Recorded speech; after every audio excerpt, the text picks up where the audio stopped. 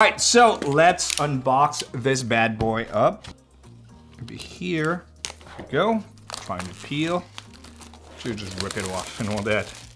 Again, here's how it looks like from the front, and it has the label here uh, on top, USB Type-C hub and HDD slash SSD enclosure.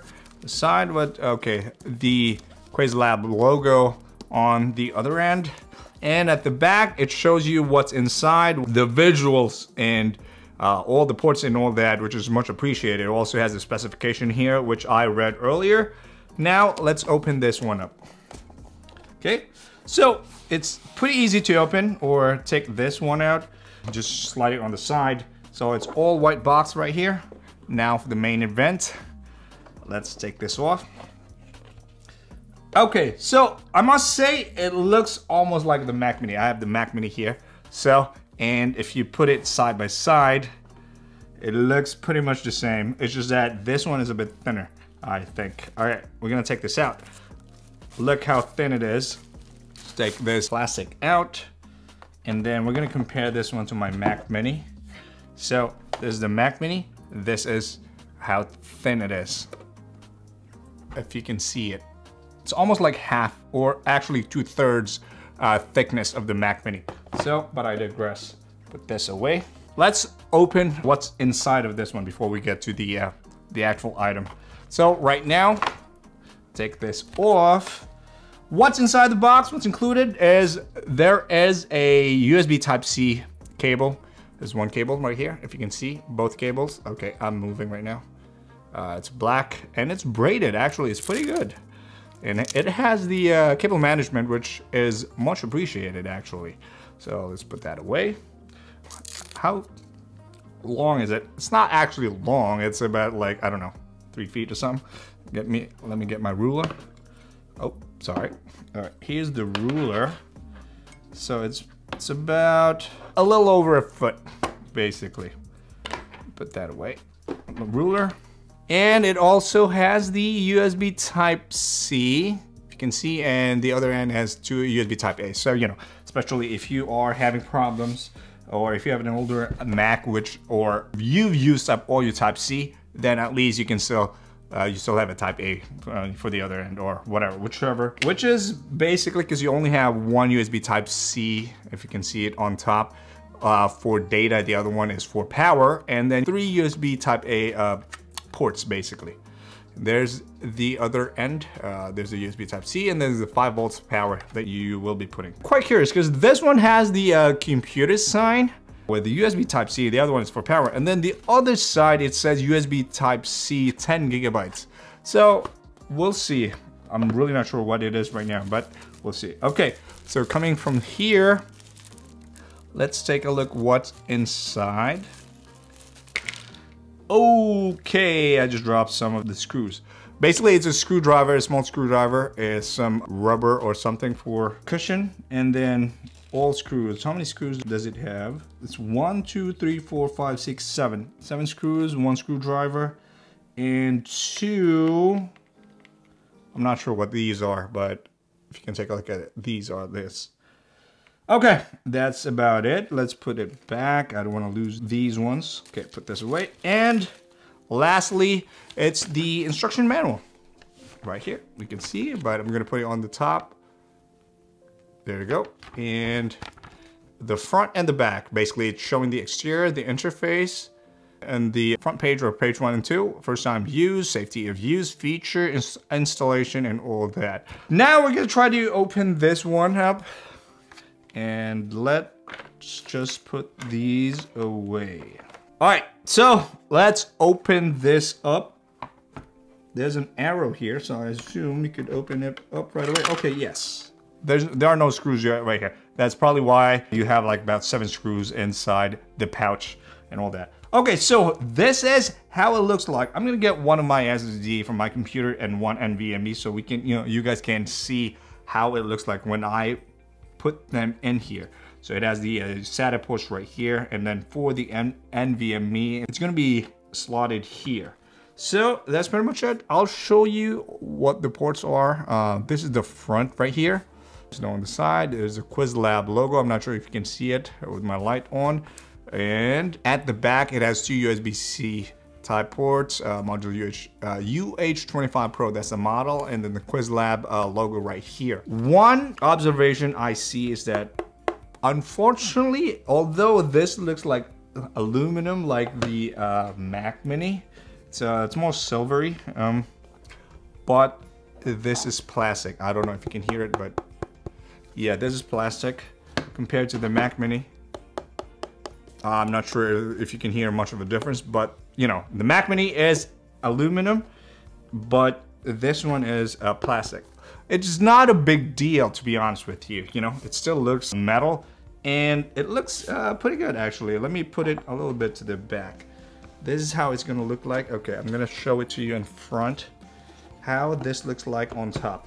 And they look, I mean, they have the same uh, dimensions with the Mac Mini, which is really, really good because you can put it side. Let me just put it out right here. So it's gonna look like that. I'm gonna put some B-roll so you guys can see, but it's pretty much gonna be looking like that. And then we're gonna set this up. I'm gonna put some SD and NVMe there and see how much the data transfer for this one. Coming right up.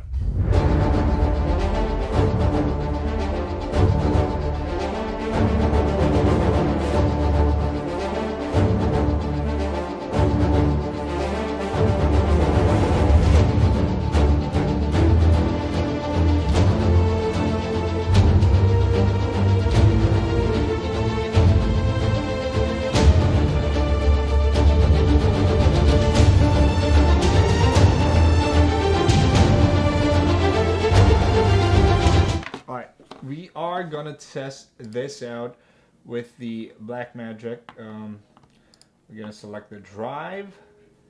Uh, now, let's try the SSD first. So it's gonna be the SSD. I'm gonna put it. You'll, you'll be able to see the uh, screen drive here right now. Um, open and then start. So currently it's the write speed is on hovering around 620 megabytes per second on average, give or take. Ending up at 6, 617.5. Now the read is hovering around 570 on average. 571 basically. And second write speed test. It's going a little higher. 641.3. Now we are gonna try to copy a file and see, you know, real world test. Let's try to, uh, this eight gigabyte file, put it here in downloads. So this one is, uh, I'm taking uh, some of the files or a big file going to the Mac Mini from the USB hub. So it took about, I don't know, 10 seconds. That was pretty fast. That is because it's the read speed from the hub to the Mac Mini.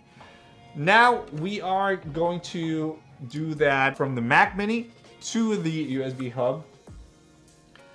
Okay, it's about 10 seconds. I must say that is pretty fast actually, especially for the Mac Mini to the hub. Granted that, you know, they are SSD and NVMe, but that is pretty, pretty, pretty quick actually. I wonder if we could actually do video editing on the fly, like we can use this straight up for video editing. I will do that in the future, uh, not right now, but I'm just like trying to show you guys how it is or how fast it is. And it's really, really fast, uh, to be honest with you, uh, surprisingly. Uh, but that is with the USB Type-C. So we're gonna try it with the uh, USB Type A or USB 3.0 and 3.1. Eh, we'll, we'll try both and see how fast it works. I wonder how the, the front uh, works, if they work well or not, especially connecting it from the Mac Mini to the because I, I, was having trouble uh, showing up for those drives before, so I'm not sure if it works.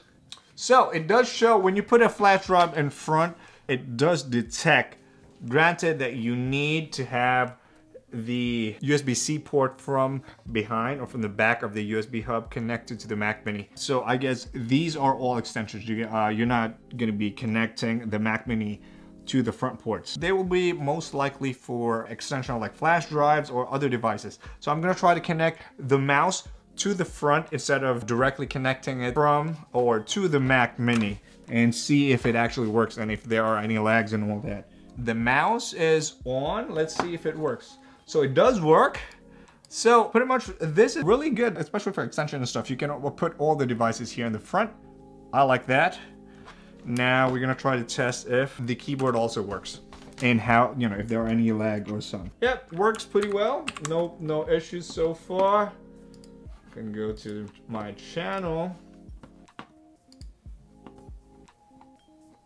Alright, no issues so far. Alright, so uh, this is pretty good so far. I kind of like it. I will show later on how this looks like, but it pretty much, it looks like it uh, copies files pretty well. No issues so far. You can put all your devices here in front instead of trying to hook it up all the way to the back of your Mac Mini. And it has the same dimension, pretty, pretty good. It looks the same, it blends in. I kind of like it, actually. This one is a very, very good product. Uh, one of the only cons I see is that I was expecting it, or I was hoping it to be like the Mac Mini, which is aluminum, but um, it's plastic. It's not a big deal, it's not a major deal. It looks aluminum, it has the same color as the Mac Mini. It's just that, you know, I was hoping it was aluminum, but it's not. But you can't really complain much, especially for the price point. This is really, really good. This is one of the better ones that I have uh, tried so far as a uh, USB hub, especially for uh, like you can use this as the external hard drive for your stuff. Have it for Time Machine or for video editing. I haven't really tried that, so I'm not. Don't take my word for that. But uh, I have high hopes for it. Uh, you can, you may be able to use this as a scratch disk for your video editing maybe a 1080p, 1440p. 4K real time, maybe you might need to use a proxy or uh, an optimized version. I don't really use that on my computer. I edit on pretty much like the raw unrendered uh, file, but I digress. I like this so far. Looks pretty, pretty good. I am impressed, to be honest with you. That's it for this video. And comment down below what you think about this uh, USB type C hub, which is the Qwiizlab uh, USB Type-C for Mac Mini. Uh, it it's for 2018 and 2020, but I think you can connect this to any other devices, Apple products or whatsoever, but it's really, really good. This is really intended for Mac Mini because like, as you can see, it looks or it blends in with your Mac Mini, which is really, really nice. So I like it. And that's it for this video, guys. Hope you like this one. Don't forget to smash the like button. And if you haven't yet, consider subscribing again. I'm Lars of Kilobit Nomad. See you in the next video.